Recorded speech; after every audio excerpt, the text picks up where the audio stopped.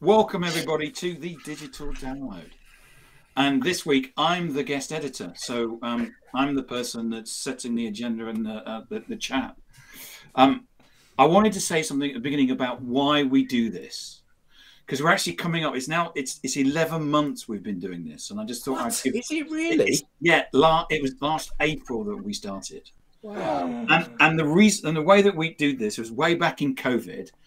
Um, I decided that we'd have a meeting rather than there was all these people on LinkedIn saying we're going to do these stand by the bed things at 8.30 in the morning where we're going to tell everybody what a wonderful day. But I thought we're not going to do that.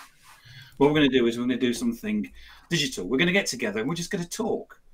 Like we're at the pub or something, and we're just going to have a chat. There's going to be no agenda, which the sales leaders all hated because there needs to be has to be an agenda, and we have to something to talk about and deals and stuff. But no, we're going to get together and we're going to talk, and we're going to have a bit of a laugh so what we're going to do? Well, we just just just just talk, and that's what happened. And then someone says, and I don't know who it was, we should actually do this externally. Well, it was Eric. We should do, we should do this externally. Why don't we just we just, we should spin up one of those tools that we've seen and actually talk because actually people would get so much from it. And that's what we do, and we've been doing it for eleven months now. So much so, someone's even decided to copy us. Really? I mean, you can't get a better, better accolade, is there, out there in the world of the internet than someone copying you? Is it digital download two? T O the, the, the, digital download pop. I think it's actually called the digital download pop up, but it's in the in US time. It's on a Friday. It's late later. Um, anyway, that someone's decided to, to, to copy us. Isn't they do, say that, they do say that imitation is one of the highest forms of flattery, but it's also it incredibly is, annoying. Yeah. I mean, they, have even decided to copy the, the, the breakfast burrito, even word for word. What? What? I mean, the, it's the big live, the big live breakfast burrito. Other other morning Thursday morning shows that are I didn't bring a mug, did I? The the big live breakfast taco because we don't want to copy it exactly. so so today today you know this is as we all know this is is serious but a bit of fun as well. And so, what, what we're going to do today, we're going to talk about. I wanted to talk about uh, CEOs on social media or leaders on social media. Should they be there? Should they be visible to their customers? Oh, am I answering the question already? Um, and and and really, what I wanted to do was was have that as a discussion because we'd actually we had an internal meeting on Monday where this was actually raised about there was an opportunity was the ceo on social what was happening? And i think it's something that we should talk about and it should be we, we should externalize it. Um, so i'm not going to do we, we we decided a couple of weeks ago not to do introductions. So what i was going to do was actually go around and just start because eric's next. Um, and because um, he's next on my on my list. In terms of you know, who's your who's your favorite ceo on social and why?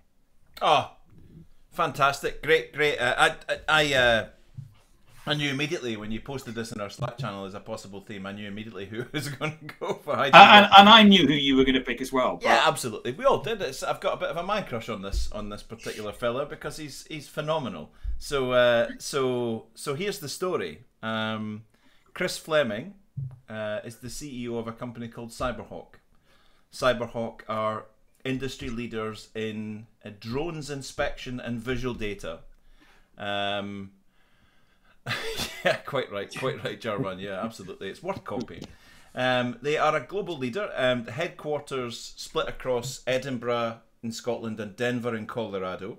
And they've got teams of people, specialists that go out with these amazing bits of kit. They'll go out to oil rigs, they'll go out to nuclear power plants, they'll go out to uh, uh, power grid suppliers. They'll they'll run a full railroad inspection for, for the length of an entire railroad between American cities. They'll do a whole series of electric power grid inspections with these amazing drones. They've got jeeps. They've got all sorts of stuff, and they're uh, they're able to to go around um, doing doing their thing. Chris Chris is, um, in my view, and it's arguable, one of the leading CEOs on social media in terms of being a social CEO and I've got a little video to demonstrate why. Is that all right? Is that all yeah. right? Yeah, run VT. Run VT. If I can, uh, if I can get this up, uh, you can maybe you can maybe put that that on for me, Tim, if you could. Okay. So, so this is uh, this is uh, Chris himself. This is what his profile looks like. He, he's stopping, collaborating, and listening. Anybody want to? I want to start, collaborate, and listen. Yeah, okay. Yeah. Um, I they're see very, that. yeah, absolutely. They're a very serious company. They do very serious stuff. This is a lovely picture of him standing under the Forth Road Bridge when his guys were about to send up drones, and he's having a bit of a. He doesn't think by any means that he's Iron Man, but he's having a little bit of a laugh with the fact that these uh, these drones are about to go and inspect a bridge. They, they inspect for safety. They inspect for you know keeping power supplies on in towns and cities. They do serious, serious stuff. Um, Chris runs a serious company, but Chris decided a little while ago to become uh, for his organisation to become a social organisation. Chris Fleming runs a multi-million turnover, big business global leader in a very very sophisticated space, and he lives that all out on social media all of it. I mean, all of it. I mean, Chris, as I sh- as I'll show you here, um, I know you asked for one one bit of content, but I couldn't just uh, I couldn't just stick to the brief. It'll, it'll come. So that's his profile. So you will get one day. You'll get here's me snowboarding through the mountains. Oh, and by the way, at the end of it, I nearly knocked myself out because I hit a tree. And this is this is where he's actually got a drone, isn't it, following him or something? He's got a drone following him. Yeah, he'll he'll take one of the company drones. He'll set it onto follow me mode that tracks him, and that little drone just follows him. He does it with uh, he does it with cars. He does it with all sorts of things. Uh, so you will get this lovely content mix because this man plays out his life and plays out his company life. His chairman retired recently, so he did a lovely tribute to him. But of course, they don't ju- they don't just do that normally. They make a bit of a, a cake with him. He, he's always promoting the team. Uh, here's a picture of the team out doing this lovely thing. Here's a new team member. She's just started with us. Julie is brilliant. Um, there's always a serious message. This is us out in the North Sea. It's not always uh, don't let the sun fool you. This was on an oil rig in the North Sea. It's really chilly. Um, uh, we're going to visit a refinery today in, in Denver. What we're going to take? So he stops by a, a specific donut shop that sells kolaches and donuts to stock up and fill the jeep full of donuts. Um, with the senior vice president of the Americas, Adam Sashuk. Um, here's a very technical thing. You can see that that as a as a CEO, as an active social person, Chris gets a lot of engagement. Um, you know, we decided to go and film St Andrews for St Andrews and do a fly around the old course for St Andrews as a bit of a laugh, and they, they post that. Um, you know, amazing, amazing stuff. This is the kind of thing that his company stops people doing, putting people at risk at height. You can do that with drones. Here's us at our our strategic retreat in Colorado. You know, he's playing out his entire company's uh, profile and their life on social media all the time. It's always about the team. It's always about tech. You'll you'll. I think the one he posted today was his son clearing the driveway of snow, because Chris doesn't overthink content. If Chris is standing in line at an airline check-in, and uh, hi Simon, and there's someone in front of him with a with an interesting bag or whatever, that's his content for the day. He doesn't care if he gets five bits of engagement or five hundred bits of engagement, but Chris's network get behind him and support him. As you can see, this particular post got two hundred and fifty thousand views, three thousand Two likes. hundred and fifty thousand views. 250,000 views, all at him, all at his company, all at his company profile, pulling through to his website. And this is just a, a, a bit of nice information about a wind turbine blade that's split into two halves before it's connected together. It's the kind of thing that they do is they inspect these. Um, the interesting thing That about is Chris is, enormous. I know absolutely, it's like half Look pipes, the isn't it? You can see the, the person in the blade there. Yeah, totally. So they do they do fly-alongs with these. They fly up around about them when they're working to make sure that they're not entangled or or uh, mean me up, Scotty. and uh, but the thing is, the thing is, Chris Chris posts this three thousand views, uh, two hundred fifty thousand views, three thousand bits of interaction, all with industry people, new recruits, new investors, new clients, new prospects, competition, suppliers, whatever it might be. But he posts again the next day, and the next day, and the next day, because Chris Fleming is a modern CEO that knows playing out his commercial personal life and blending the two together and giving us that middle section is key. Here's the genius part his CFO, his CIO, his CRO, the head of sales, the head of marketing, the head of technical, the sales team, the marketing team, the technical team all do it too. And is it all on uh, LinkedIn or is he using other? Oh, they're across just like any good social seller. They're across Twitter. Um, he's particularly good on TikTok. Um, uh, but as a as a mainstay for their company, um, they use for their for their sort of like social play out that they're doing. Um, it's LinkedIn and Twitter together. Some of the team are into TikTok. They've got a company Instagram page as well. Um, you know that's that's not the uh, you know a lot of his he'll tell you the best post he ever had was the one that took the least amount of time had the least words on it that resulted in the most conversations and the most work but chris will regularly get 150000 views Well, they always say that the, the best film that John Wayne ever did, he only did nine lines, didn't he? there you go And There and you go. actually, the, the better the the, be, the less he the less John Wayne spoke in films, the better people actually um, thought thought the film was. So I mean, you know, sometimes less is more. Oh absolutely I Well, still- John Wayne, still- certainly. But his best films are ones Just, he wasn't even in. the point. Yeah. but I still, I still say today I'll be asked I'll be asked um, occasionally what was the best piece of content you put ever put out and it was a 21 word post with three hashtags with no pictures and nothing else 21 words that resulted in four conversations and a proposal and a purchase order it's the best piece of content I've ever put out why because it was the least amount of effort and it resulted in abs- actual tangible results and conversations and it led to revenue I still think that's the best post I've ever put out today So, so, of- so, so, just just zooming in on on Chris though, Eric. I guess this is just he is just posting this stuff. It's it's it's just push stuff, is it? he he is he is thinking about this. This isn't. This might seem like rich and colourful and diverse, in that he just flips his phone and does anything. He's got a plan. He's got a plan. He farms every single element of that. So those. And it's uh, and it's what he's got a marketing team, a PR company doing it for him. does it all himself as the He does it himself. does it himself. This is this is not coordinated. This is not done for him. And you know, go and post this. That is a selfie of him and Adam in the shop buying donuts on the way to refinery. That was one of the days where he just flipped something that wasn't particularly planned. But I know Chris, so he probably said, "I know we're going to a donut shop in the way to refinery. That's going to be my content for today." Uh, all of this is farmed. All of this is self-done.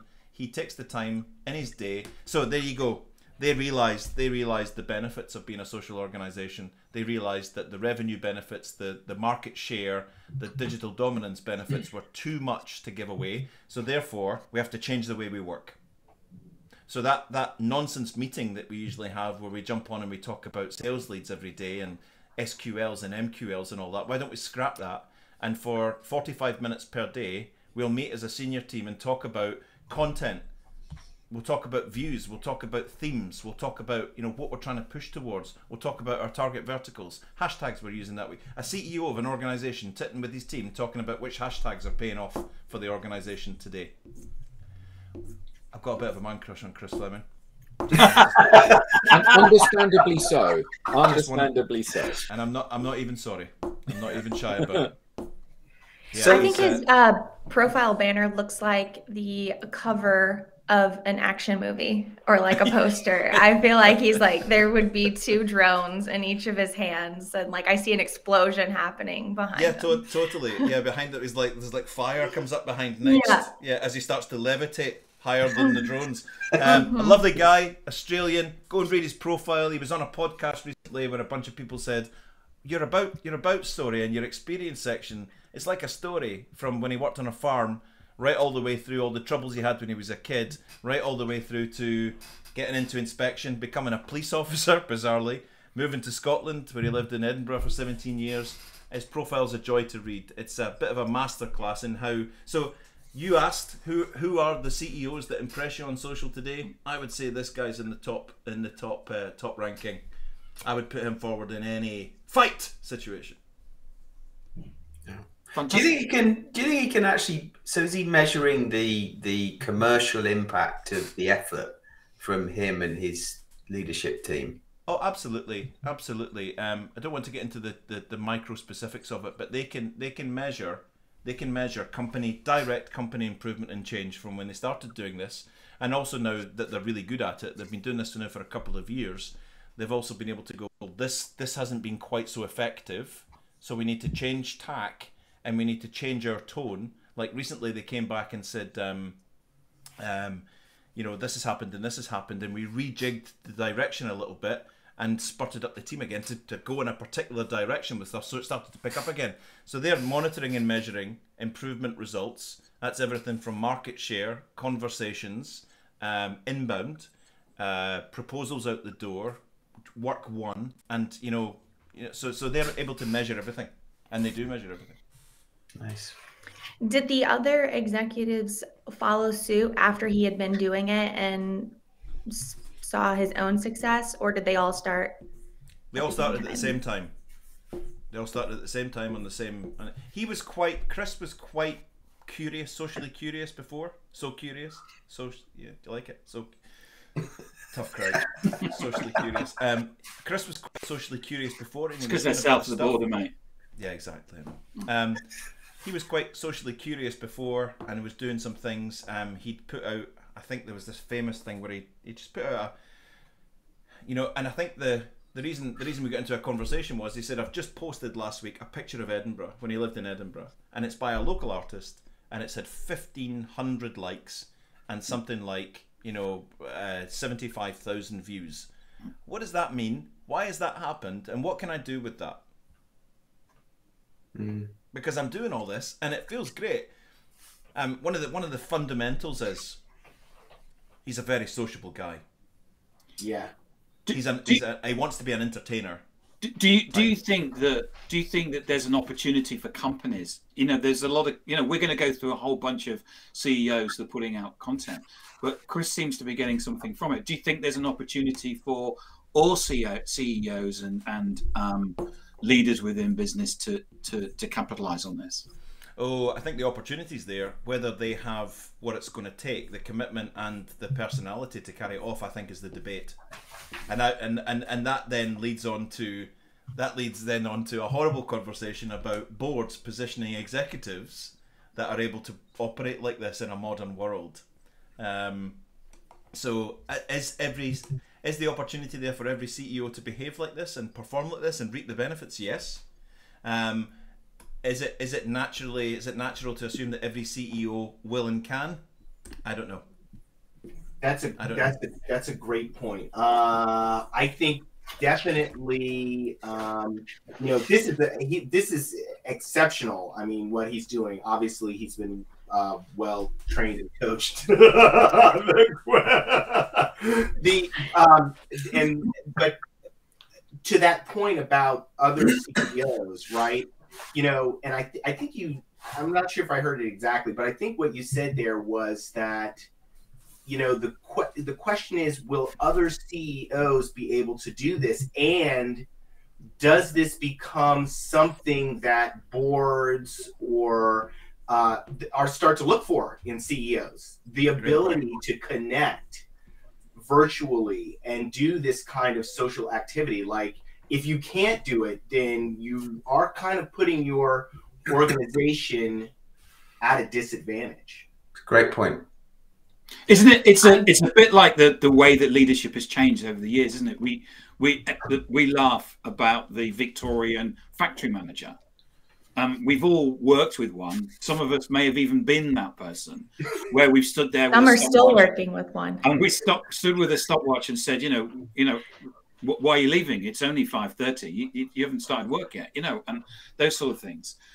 And what we've done is that we've had to change and evolve because business has changed and evolved, and there's been there's been expect, expectation that there's been that change. Should should we should therefore an ability to have that social and that connection is that something that should be now a, a, a leadership attribute? I think I think absolutely. I mean, the the key um, is that you know it's something ca- that can be learned. It's something that can be coached. It's it's just like you know um, the difference between a fixed mindset and a growth mindset, right? I love Uh, that content there from Jess.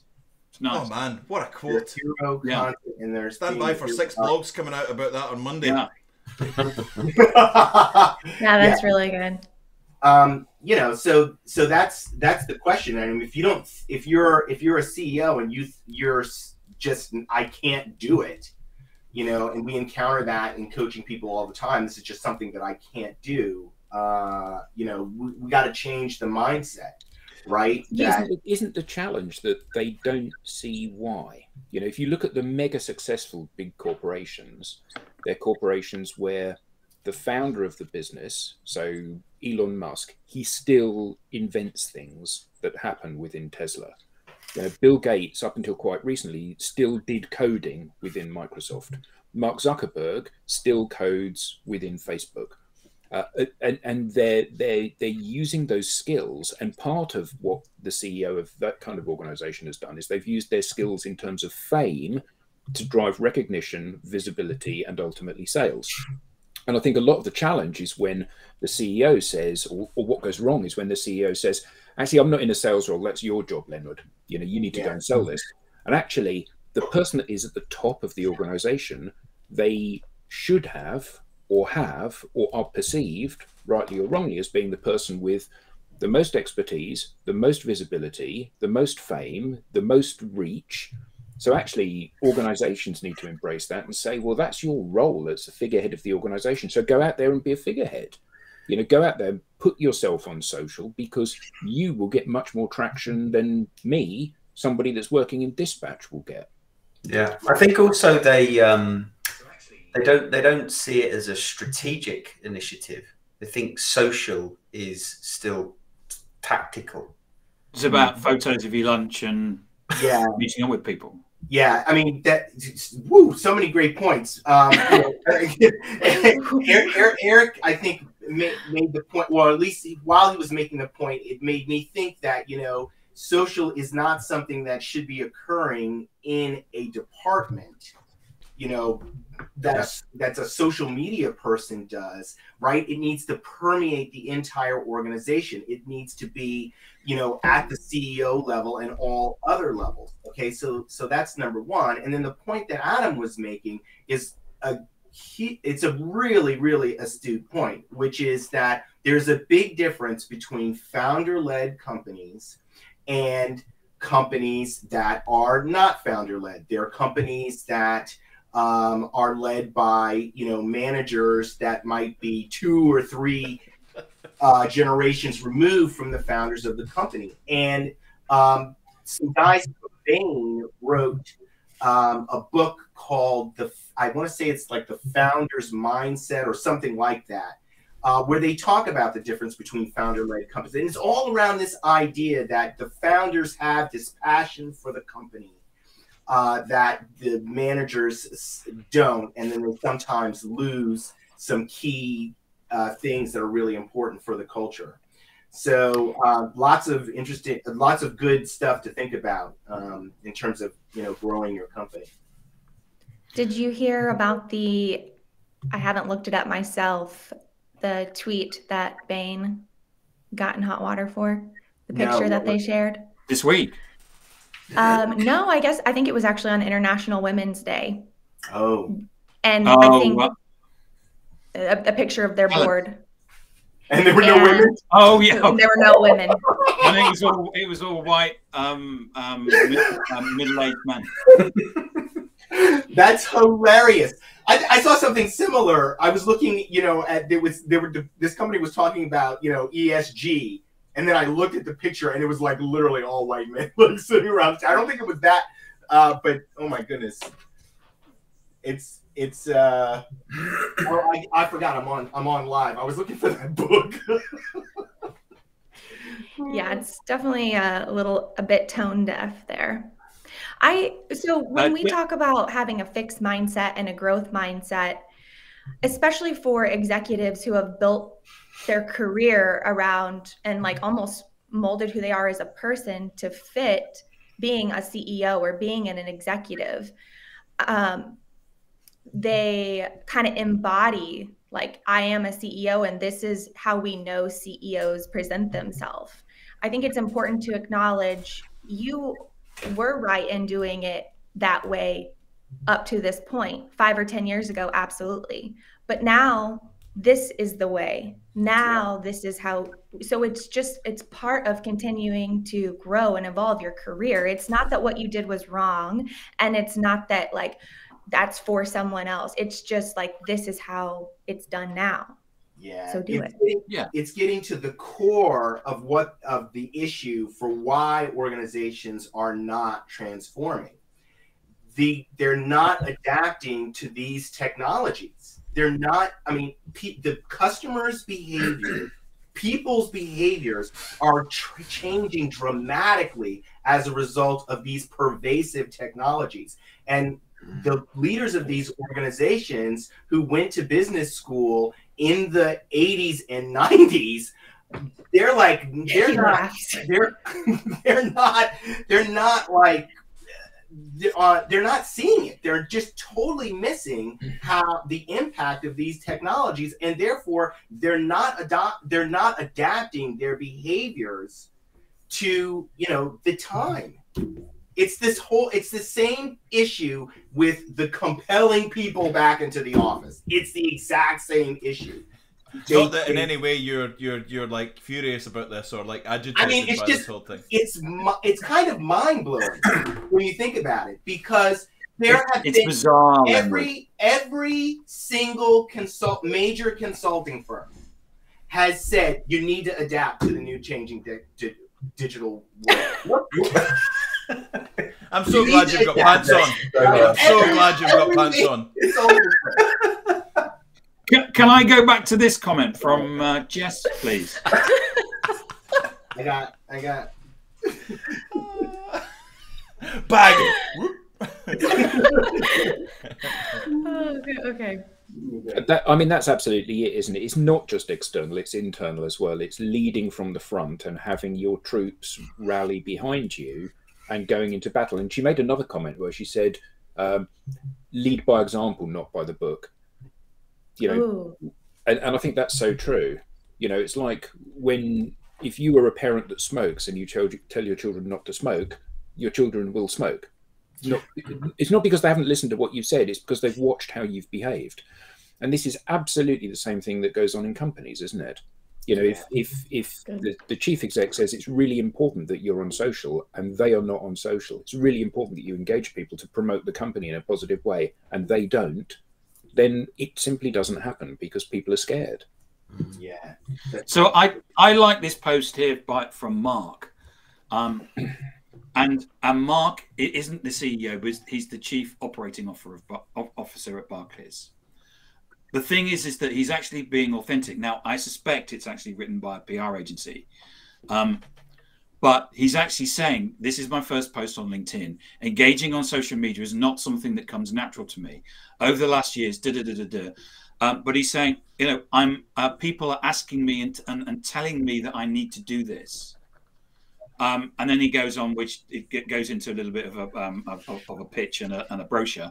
And of course, what got is a, a photo of him with a suit and tie on. Um, but maybe that's what he's still wearing, Barclays. I don't know.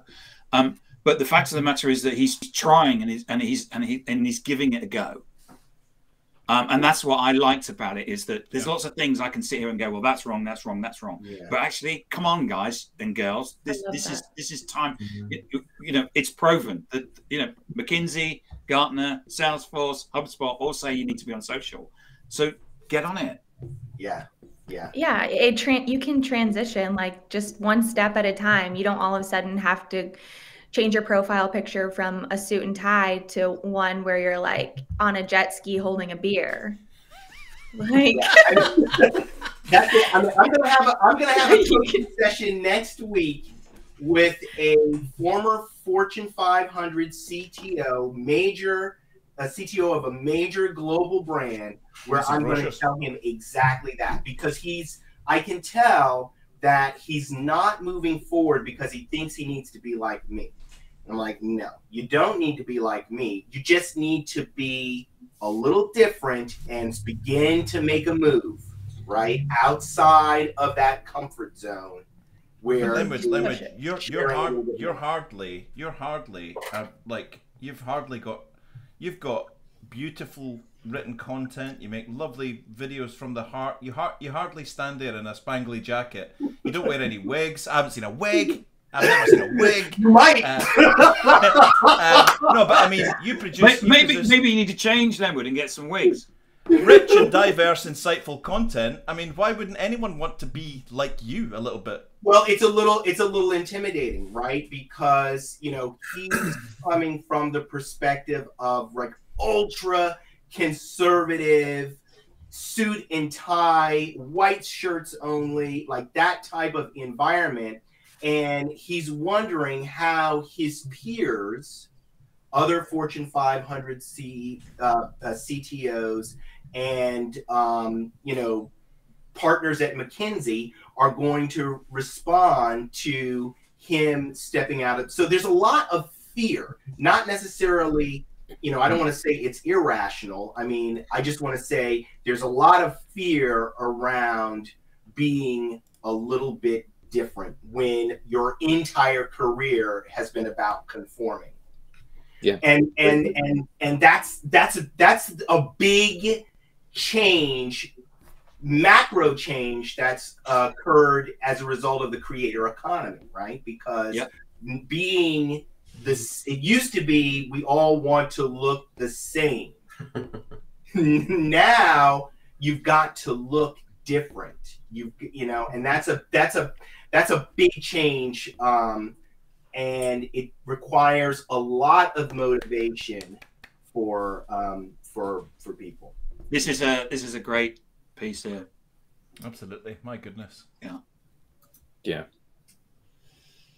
And it holds when the management or when the executive team is resistant to it, it goes even without saying it holds back the other team the sales team. And maybe they'll they'll encourage oh marketing should be on social. We need a social presence this and that. But if the everyone else feels like this is not what our leaders are doing if you don't lead by example then it's not the culture. That your people aren't. I, I presented to I, I, presented at a conference in um, New Zealand on Wednesday, and um, one of the questions that came back was, "Are Salesforce don't want to use their LinkedIn profiles for business?" Yeah, yeah, and and and that and I and they said, "Well, what what's the response?" I said, "Well, two things. One is your leadership has to um, show leadership, and and and and actually." The reason why they don't want to do this is because they think what you're going to do is force them to be, become walking adverts, and nobody wants to do that. What people want to do is that they want to be themselves and they want to be authentic, but they know that the rules or the rules seem to be you've got to you've got to be a walking brochure. Yeah, the, the rules are all about you can't do this, you can't do that. Not yeah. you can do this, you can do that. Mm. And that's the that's a big challenge. I didn't mean to do this the other day, but it just happened when someone said to me uh, live about you know, well, it's it's about being professional and I said, "Can you can you help me out here and can you define professional for me?" Have you ever asked Have you ever asked anyone that? Define professional. Boring is what they mean. No, but then but watch them then go. Yeah, but well, you know, like like kind of like kind well, of like t- ties are so 2020. I mean, you know, who who wears ties anymore? I wore a tie the other day in a video. Can I, can yeah, well, that's because funny... you were taking the piss. Yes, I was. Can I tell you a funny story about that, which has just come in, just yeah, yeah, yeah, right yeah. now? A client of a client of mine, the lovely Andy Robson. I thought this would tickle you, Eric. I've just had a new contact, someone that requested to connect with me. Um, I did. I, I connected with them, and, and immediately they started selling to me and pitching to me. I copied the link to your brochures video and sent it. She's not only did she not reply, but she's blocked me. That's from Andy. Fact. She's blocked me. brochure. Brochure. Brochure. Brochure. Um, this is exactly yeah. what's happening. So, Alex, do you want to go? Do you want to go next? Yeah. Yeah, I can go next. Because I, I, just want to drive it on because we've only got another twenty minutes or so. Yeah, and I can. Uh, let's have a look. I can link my two pieces of content. Cool. That. Oh, unable to share screen. Oh, no pressure. We're just going to sit in silence and watch. ah, if you got a Mac, you have to give um, uh, permission your permissions in the um, settings. Everyone's which watching. which one is? You're gonna do you're gonna do some ASMR to stand in, Eric. Yeah, I'll do some ASMR. It's funny because when content's up, we can't. We're all chomping at the bit, talking over each other. But the second we're waiting on the next one to pounce, it's just. Yeah. yeah. We, well, I'll, I'll, I could I could go settings. Okay, you go you go next. While um. I'll go while Alex is um. Okay, so I'm I'm gonna share um and I really I I debated about what to share and what um, to uh, for my uh, post because I had I had something else, but I really like what this guy Jarrod McNaughton is doing. He's the CEO of a health plan out in California that is targeting uh, lower income folks who um, you know to to to uh, join the health plan, and um, you know, while he's not doing everything I'd love to see him doing on social media, he is doing some great stuff. And I just picked out three things that he's doing that I really like. Number one, I can trust that this profile is him and that he's the person on the other end of the screen that I'm communicating with. And that's a big deal. It's something it is a big I, deal. You know, like I don't think people fully appreciate that when someone reads your profile that's been obviously written by someone else because it's in the third person. I don't know how many people who stand up and say, you know, other than Queen, the Queen, right? Um, you know, Linwood Ross is this, Linwood Ross does this, and he's been, I mean, it sounds crazy. Imagine if you went to a networking event and that's how you were talking. This is obviously Jarrod it's in first person narrative and he's talking about what he does as the ceo and what his responsibilities are it's very clearly him who's written this um, so that's the first thing um, we can trust that it's him very important the second thing that he's doing is he's encouraged people who work for him i think to post on social media because this is his director of community health and he's uh, received something from his partner celebrating his birthday. He's posted it on social media, and guess what? The CEO had said, "Happy birthday, my friend." He's supportive of his team being on social media. Love it. Absolutely love it. Obviously, other people, I mean, there are lots of people from his company that are posting on social And this is connecting this is connecting with the people who work for him yeah. But absolutely. also showing that, but also showing that externally. So if you're looking to go and work for that organization, you go, mm, that looks like a nice place to go and work at. Absolutely, which which is a great lean into my next comment, which is the culture comes through in the posts. Okay, so we've got two people who are on his team that are using social media to recruit. Okay, the vice president and chief compliance officer, IEHP culture is truly one of a kind, and it's one of the many reasons I've discovered why I love IEHP. Come join me in our mission to hear and inspire the human spirit. Okay, I believe it. I believe it not just because he said it, but because of the other things I've seen occurring on social media from other people on the team and the CEO. It's not just a chief saying it, right? And guess what? If you're someone who's considering IEHP as a as a place to go work, you're not only seeing what this guy has written, you're seeing what everybody else is doing and you're saying, "You know what? That does look like a culture that I want to be a part of. I want to be able to post things on social media and share what I love about my company and what I love about my job and be encouraged to do so. I got people at every or- level of the organization doing. Here we go, talent sourcing specialist, right? This isn't his only post. He's got another post where he was at a uh, at an event where they were recruiting people. He showed himself there. We had a great time you know that's how you use social media to get that external to see what's going on inside and want to be a part of it i absolutely love it fantastic love it Lenwood. do you want to go next Brentney? because i can see from the screens on alex's glasses the reflection that he's still still sorting his stuff we can put on some we can put on some I'm afraid that mine might do the same thing, so I have screenshots. It could be a race between Alex and I. Take your time, guys. Slight intermission, folks. Might want to nip to the bathroom or make a cup of tea. Well, I think actually mine is a good segue from Linwood's, and I'll just I'll just share the um, it, it, and it wants to close uh, Chrome and restart. So I think I'll just when when I, when it's my bit, I'll just do it without the screen share. Is that a, is that a Mac, Alex? Yeah. See. It, yeah. If you send me the send me the link, really. Alex, and I'll share it for you. Send it to me. It's surefire. I've got Windows. I'll just fire it straight on.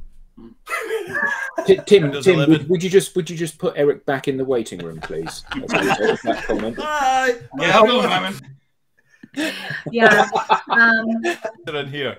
Much better in there. let's see. I think if and you hit later, I think if you hit later, it will let you. But I'm gonna go ahead and share. Cool.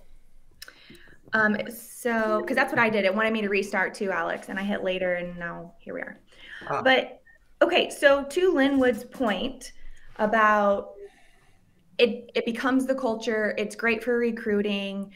My there are two CEOs, both women, who I look up to and I'm inspired by for the same reason. I'm going to share them both. The first one is Charlie Saffro. She leads, she's CEO of a recruiting company. But both of these CEOs, they show up for their people. Like their type of leadership comes through on their profile and their type of posts. Like it is very obvious servant leadership. They talk about things like they're not afraid to call out things that aren't being done right, things that need to evolve um, in terms of, we've talked about it on here before, how employees are cared for, the way their work, you know, whether it's work from home or they'll either, they'll share parts of their life, family stuff, mental health, therapy, like they share it all. And the best part is they aren't afraid to be very unapologetically a woman. They'll use emojis, they'll be like they're not your typical CEO. And but what is a typical CEO, you know? And the result comes from that is tons of engagement, hundreds of posts. You know, they both have Charlie has over 40,000 followers. Her company has 90,000 followers, the company page. Wow. All the posts get hundreds of comments and likes and it's immediate. Like these people like I'm one of them. I look forward to their content and it and it people engage and it's immediate. So Clout or the other one is Amelia and she has 90,000 followers on LinkedIn Wow. and she posts about just a wide range of very like I don't want to say controversial, but just things that are not typically looked at as being professional or accepted. And she talks about how since she started and grew uh, her company, Klowt, and I think they're up to like 20 employees now. This has all happened just within a couple of years, and she was able to scale this her her brand, her company off through social. Now they have you know 20 employees plus, super strong personal brand. She gets like uh, she gets almost like a thousand bits of engagement on every post. Um, but as to Tim's point early on, they run these pages, they post themselves. And yes, it does matter when you can feel there's like a person behind it. When I first connected to Amelia, maybe like six months ago, I think she had 70,000 followers. She accepted right away and she sent a message back to me. Charlie, she has 40,000 followers, hundreds of people in her messages all the time. And she is probably one of the most responsive, helpful, kind leaders that I have ever seen. Like, if you asked her, if you reached out to her for help on whether there was anything in it for her or not, she would be on a call with you within a day. And they just continue. They use this to connect and serve with their people. And it's just, it's very inspiring. They're not trying to like fit any certain type of mold and i love that their communities like are rewarding them for that that was it Daniel needs That Daniel needs a, um, attention. So no he runs the millennial the millennial marketing podcast he's actually really awesome he gets oh, he doesn't want to talk to me, then, Wait. does he? He's like a, a cool what'd you say? I said he doesn't want to talk to me, then, is it? Does he? he might he probably would Brittany, that, great, great examples. Um, And there was a, a question. Um, that, there was a, a piece that Mark said earlier on. Was that is professional? Does professional equal um, uncontroversial? What, what, what's Mhm. professional, and what is professional today? What is it? What is it? Well, it's Hmm. really, really hard to. So my, my definition is whatever I want it to be. Yeah. Whatever I want it to be, and you know, like, like, can you be funny and serious? Of course you can. Can you be Can you be uh, self-deprecating and successful? Of course you can. Can you be relatable and accessible? Relatable and accessible. Yeah, yeah, yeah. My goodness, my goodness. So, so all of these lines are blunt now, and it used to be that we had to be suited and booted and and just like walking, talking brochures and speak like we're trying to get on The Apprentice, and uh, and that we're we're we're all about you know just like we're going to vomit up uh, the MBA every time we get into a boardroom. Um, actually, now I think people are realizing that the the person behind the MBA and behind the, the, the shirt and tie and behind the stiff corporate is actually who we want access to. You know, and, and we can sniff it out now when, when when you hear the when you hear the the, the polished brochure wear, I think, and I'm, I'm I'm I'm I'm not just from my own perspective, from my client's perspective, from my friends, family, and colleagues' perspective, I think we're getting to the point where we're going boo, boom, we're throwing tomatoes at this now. We want to see the person, not the brochure. Um, I agree. yeah. And, but I actually, I, I, Mhm. and I think that's been happening. Um, that's been happening for a couple of years.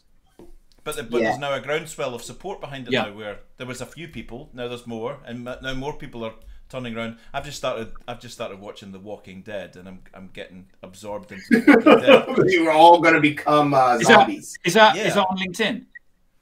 no, it's on Disney, but it's funny because Do you guys Yeah. remember? no, Go carry ahead. on, carry on, carry on.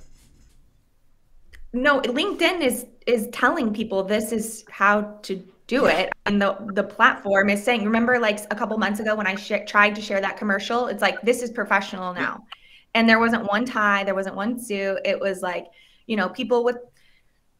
I don't know, their natural hair, people in like dresses, people walking down streets showing their tattoos and piercings and having kids on their hips. And it's like, this is professional. Like being human is professional and it's welcome here. there's a you know there's a there's a couple of uh, things that I want to say. Number number one, you know, I I I see the um, when I when I think about these executives that make and and this is actually, gosh, this is really controversial. It may lose me some business, but there there, there are there there are these CEOs that are making hundreds of millions of dollars a year that actually don't want to be that accessible. They want to be far Yeah. away from the Yeah. people that they serve. So uh, that is. I think the thing is they don't serve them though, do they? yeah, that's a That- great that's point. the point. That's a great point. So, so that's that's problematic because the, the reality is that because of social media, you can get so close to your customers. You can you can be so close to them. It's it's all about wanting to be close to them, right? My other point, I forgot. Well, and that's- It'll come to you. Very well put. Yeah, that's It will come to you. It's a, it's a nice segue, Lenwood, because um, Ed Bastian is the CEO of Delta Airlines, and um, as we all know, the airlines have been in a bit of a tough spot the last few years. Um, and uh, when he was recognised as, you know, one of the top ten on social two and a half years ago, he had forty-four thousand followers. He's now got 220,000 followers. And I, I think that's because he's doing exactly as you've just said, Lenwood. He's he's using social, in, in this case, LinkedIn. Um, he's writing articles. He's regularly posting content. He's he's active, um, and he's talking not just to his customers.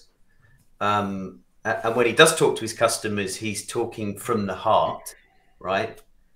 Um, you know the, the the the the outcomes that he's looking to it to achieve, um, the experiences he's looking to deliver to his customers. He's also talking to his people um, and putting effort into equality and ensuring that you know their skills program is is geared towards not only hiring, you know, the right people, but ensuring their own people are upskilled. Um, and they recently got rid of um, having a degree as a Mm. like qualification that you need in order to to work at their company. And for me, that's a that's a that's massive, right? When we think, and we've talked before about the future of work, um, you know, the way we learn today is very different, or the way we should be learning today, because it's still enforced, right? Well, not enforced, but encouraged. You know, go to sixth form, go to uni. Um, but the way we Get, a, learn, get a today is job, very stay in it for life. What's that? Get a job, stay in it for life. Yeah. Yeah. Um, and and not only sort of Delta Airlines, but but Ed Bastian is embracing that and and kind of sharing that with his two hundred and twenty thousand followers on LinkedIn.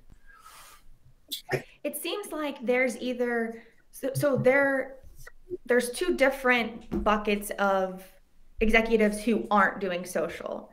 There's the ones who actively are against it.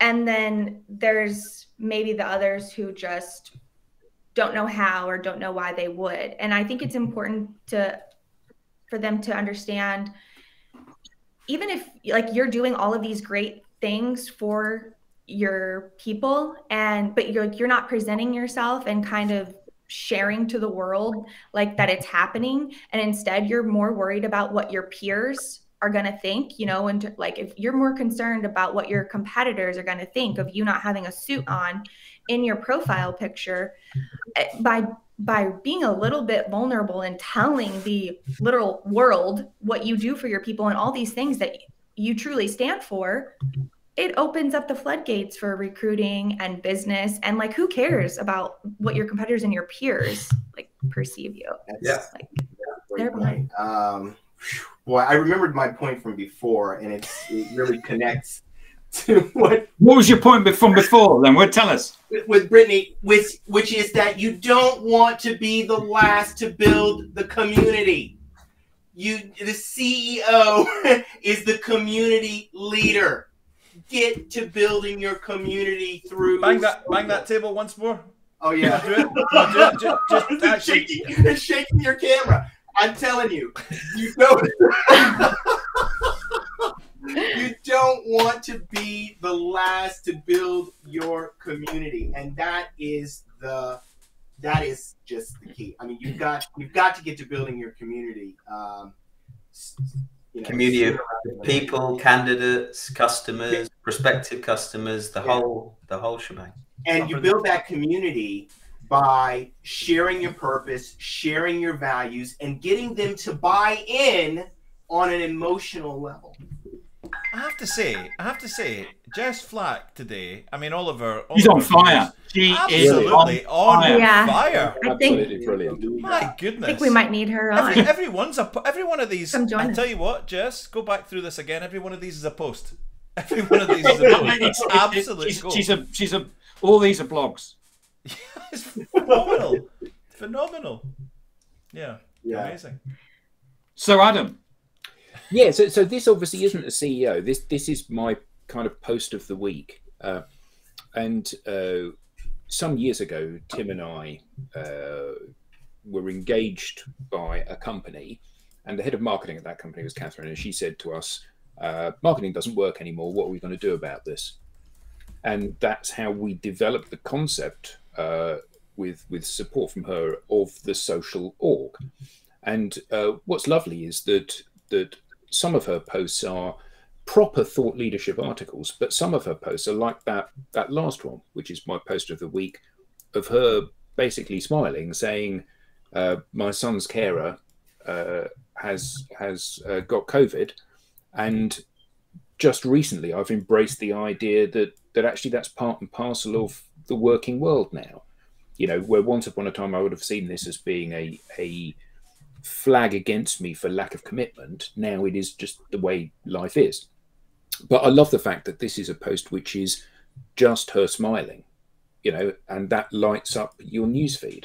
You know, there's no sales pitch in here. There's no I'm being really clever. She's written some really clever stuff. And if you go back and look at some of her posts, There are some incredibly insightful things, collecting data from large swathes about what works and what doesn't, and why it works, and what kind of content engages people.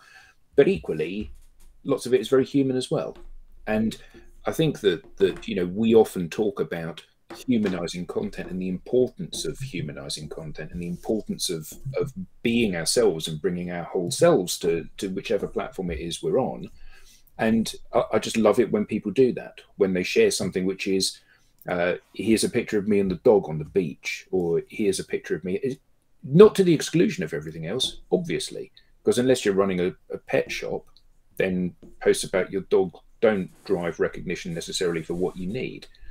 But showing the complete you showing the fact that you're having a good day or a bad day or that you've taken some time out or that you're you're reconnecting with friends i think it's just just lovely. So in the last five minutes what i wanted to do was find out from you what your first car was For, for, so, so, i'll go first yeah. my first car was a, a white renault 4 with the gear stick in the um, um, in the dashboard. Yeah, it was the 1100 version, and I was able to. And I I raced a mate of mine who had a Mini 850, and I won. wow! Shall I go next? Yeah. Yeah. Uh, mine was a, a Mark One uh, Vauxhall Cavalier, pale blue, and uh, and I wrapped it around a telegraph pole. on a country lane, there was an oncoming HGV around the corner. You know, shouldn't have been. It shouldn't have been on that road. It was the road was too small, I and I couldn't squeeze between the hedge and the uh, and the lorry because there was a telegraph pole there. mm. I I had a little fender bender on my. Oh, go ahead, Eric. That's it. it we've got, got a, we've got one from one from photos the old Chrysler. Chrysler 180, then an Austin Maxi. Austin Maxi. That sounds like John. Blue yeah, that's a. So that that's that's Eric and his Ford Capri. Is, is that a Mark II, isn't it? It's a Mark II Ford Capri, well spotted. Um, bought in yeah. Falkirk. I was I, I came home from college one day and said to my dad, "I'm going to buy a car, a Vauxhall Chevette, that my friends and I have rewired at college with flat twin and earth lighting cable." Um, and he said, "No, you're not. That's a fire trap. That's gonna that's gonna die." Um, so I'll tell you what. Um, if you save up five hundred pounds, I'll put five hundred pounds. So there's a guy at my work selling a Ford Capri, and it's been garaged, and he uses it on a Sunday, and it's immaculate, and it's one from Cologne. Uh, it's German. It's got a German handbook, and I love that car, AUR 50X. Unfortunately, I was too young to appreciate it, and I ruined it. And when I handed it in to trade it in for a Fiat Uno Turbo. it, li- it limped onto the four forecourt because I just abused it and killed it. Yeah, they so were rear wheel drive, right? The Ford rear wheel drive. I felt, and, and my name's Doyle, right? So yeah, I used to have the theme tune from the professionals on the tape. nice. Yeah. Brendan. I had a Ford as well. Mustang. It was maroon. Ford Mustang. Wow. Yeah. Yeah, but hold on. There were some really I... crap Ford Mustangs. that would have been very intimidating. I'm not. I am not bragging. My younger brother makes fun of me all the time. You know, says I was like that. I was that girl in high school. So and I did also get in a, like I said, was a little bit more than a fender bender. Someone stole a stop sign, so I drove right through it. The stop sign was missing. There's supposed to be a stop sign there. I drove right oh, through no. it, and someone uh, hit me from behind. I called my mom to let her know, and she laughs. They still laugh about it. My family makes fun of me the fact that I got into an accident because someone stole a stop nice. sign. So, my, uh, a few triggers really. there. No. Yeah, I know. That's what I'm saying. A few triggers there for me. Lenwood. My uh, first car was a 1981 two-tone green Buick Regal. Nice. With a rebuilt 350 small block engine. Buick Regal. Wow. Which, which which year? 1981. 1981 Buick Regal. 1981 Buick. Two-toned wow. green. Two-tone green. 1981 Eric's desperately trying to find one. Oh, and the first weekend I had it out, I had a little fender bender. I went to I went to a place I went to a weekend. place called the Cove where all the kids, cool kids, hung out. And uh, I was so excited to be driving my car. I had just gotten my license. I was 15 years old. Arm out the window. Yeah, I was. I and and I Get your I, license at I put the car into reverse instead of drive and slammed the tailpipe in up into the uh, through the tie back tire, cracking the uh, cracking the uh, shock absorber. I found one in sage. I found one in sage green. Yeah, look at that. Look at that. Whoa, New yeah. Regal, baby. Oh that thing can move. nice. nice. Adam, What about you, Yeah, Adam? so I had a 1982 Ford Fiesta XR2 No. Wow. with the, I with the, the first car was an pepper XR2. wheels. did that? Did you get the? Did you get the the um, hair dryer with it as well? Haha. Uh, what was what was really interesting is that I, I it was it was a nice little car. Certainly as a first car, it was a nice little car, and uh, it got stolen, and uh, it was recovered from a, a a pub car park like three weeks later, and uh, it was an insurance write off.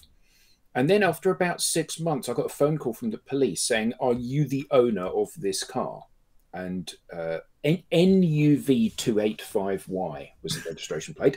Um, and I said, I, I was. And they said, Well, it's still registered for you. It's been used in a bank robbery. How exciting was that, eh? And I said, No, no, that went about six months ago. And, and that was the end of it. But uh, it was a great little car. What Great colour? car. Silver. In silver. Silver XR2. Exactly like that. I mean, th- that's it. That- But if you use That's it as the a getaway. bank That's robber, the that's getaway exactly it. Yep. Exactly. if you used it as a bank robber, you couldn't have anybody in the back, could you? You'd be you'd have to move the seats to get let. Yeah, on, yeah. get in, get in, get in, get in. I always, I always loved the, you know, being a taller guy. I always loved. Um, uh, it was really funny. Uh, you know, I had a Capri when I was an apprentice electrician, and my mate had a Cortina. One had an Escort, um, and the other mate had a Fiesta, and we could all open and start each other's cars with our keys. Gosh.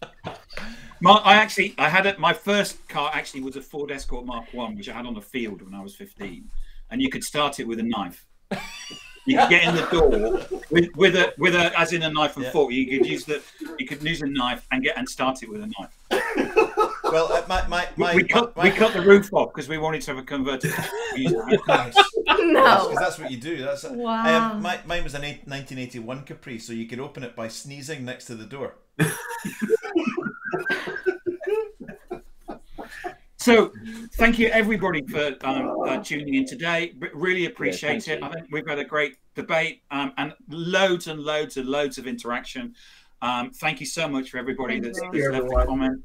Um, and um, if we missed you, I'm sorry, but I've tried to get up as many as I can. And by the way, we're not here next week. Um, so it's a public holiday. Um, it's Good Friday in the UK. Uh, well, I won't be here, and Eric won't be here, and Adam won't be here, and Alex won't be here. So um, we won't be here next week. Yeah.